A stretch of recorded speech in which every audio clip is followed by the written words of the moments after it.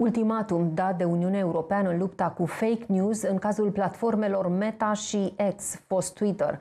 Platformele sunt acum anchetate oficial pentru informații false cu privire la războiul din Israel, prin care era promovat discursul organizației teroriste Hamas. Decizia vine și în contextul adoptării noi legislații europene privind serviciile digitale.